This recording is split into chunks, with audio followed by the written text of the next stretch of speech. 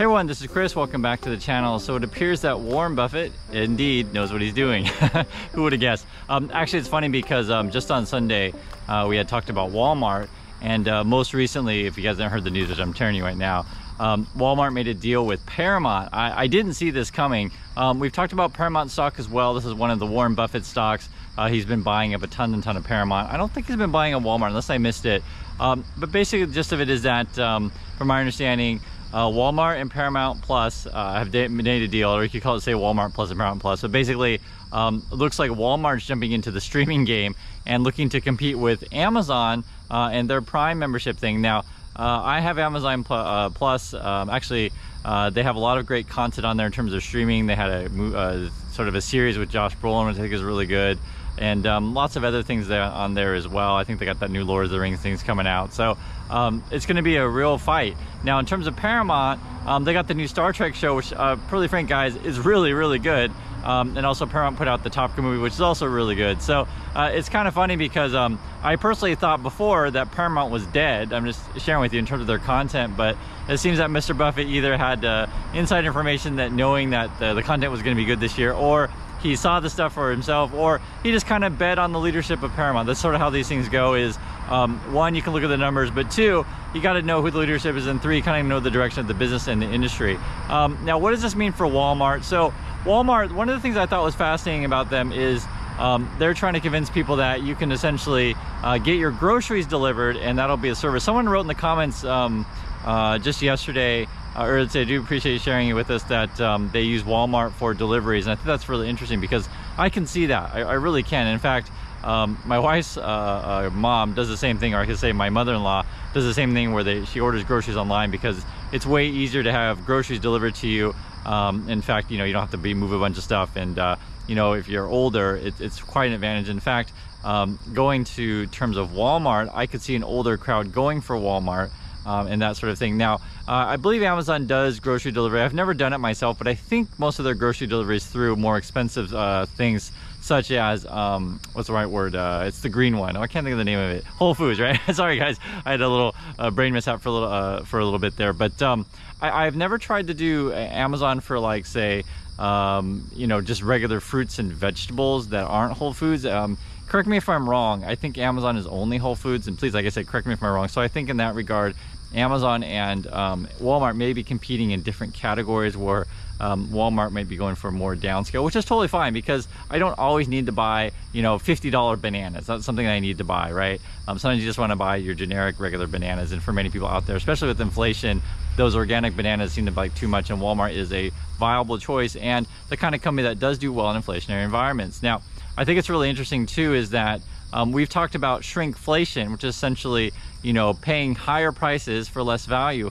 But in this situation, um, if Walmart Plus indeed has Paramount Plus for, you know, a long uh, standing thing where, you know, you subscribe to Walmart, you also get the Paramount uh, streaming service, um, that actually creates value for people and may be something. Um, it'll be really fun if we find out later that like, you know, Target does a deal with Disney and then we find out that, um, you know, YouTube does a deal with, I don't know, I'm trying to think of what would be uh, Footlocker or whatever, right? and we start to have like these sort of uh, uh, conglomerates of uh, online shopping with streaming service. I mean, it could be a thing because we already know that, say, something like uh, AT&T, Verizon, T-Mobile, they all partner with various streaming services. Although um, those kind of partnerships aren't so outlandish because you're talking about, say, streaming something on your phone, it kind of makes sense. Um, really, Amazon is sort of the one who started this sort of thing of like, hey, I'm shopping, hey, I'm going to be offering you lots of services and becoming like a, a multifaceted company. Now, um, I've never been that attracted to Amazon, uh, mostly because it doesn't have a dividend and the stock hasn't really been a great performer in the last five years. You can look for the chart for yourself.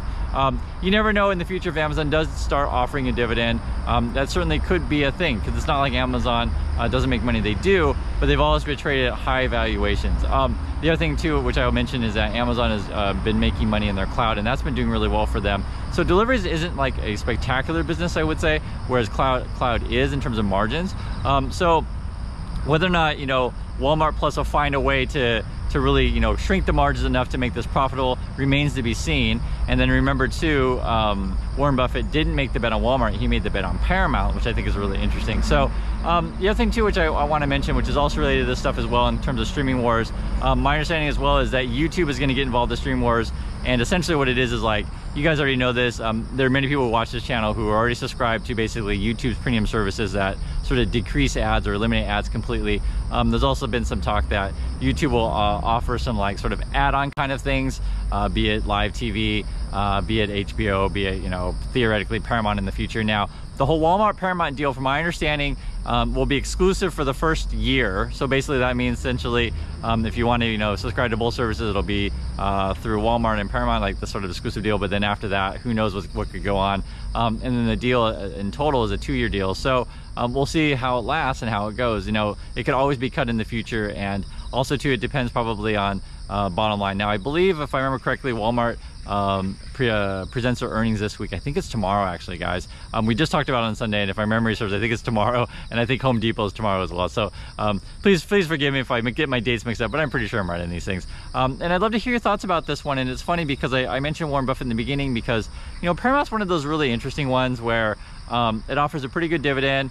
Uh, it has a decent PE ratio and I, you know, you wonder why more people aren't piling into this when, you know, Warren Buffett himself is also in this one. Um, I think one of the reasons why you would or wouldn't, so I'd say one of the reasons why you would pile into, say, Paramount is because they have a decent catalog and they got a bunch of titles. Um, one of the reasons why you wouldn't is because basically streaming is really, really competitive and Paramount Plus alone just doesn't offer as much value as to say other things. Um, however, when you figure out a way to like get Walmart and Paramount together, then suddenly you're creating a new value that wasn't there before. Because like, for example, uh, when you subscribe to Amazon Prime, but pretty much everyone in USA has, uh, you're getting streaming. Uh, you even get uh, photo um, storage if you didn't know that. And uh, obviously you your deliveries and your discounts and things of that nature. So um, I'm curious your thoughts about this. What do you think about this Walmart Paramount deal. Uh, to me, it sounds pretty good. It sounds like a match made in heaven. Um, I'm real curious what to, the details are of this and sort of like how the market reacts to it. Um, I, I, was uh, very surprised, actually, to be perfectly frank. Um, I did not see this coming, and, I, and I the first media uh, sort of thing that came to my mind was like, yep, Warren Buffett figured it out before all of us, or he had information. But um, if you want to play on the positive side, you could just say, you know, he picks good companies to invest in. He picks good companies with CEOs that have, you know, essentially the cash on hand and the cash flow because Paramount has cash flow. So does Walmart as well. And, and figure out, you know, companies that may have potential deals in the future. And there you go. So anyway, thanks you for your time. Love to hear your thoughts on this one. Is it a good deal? Do you like Walmart and Paramount's teaming? And what deal do you think will be next? And uh, if you were Target, would you be going after, uh, you know, your streaming service as well? So thanks again for watching and I'll catch you in the next video.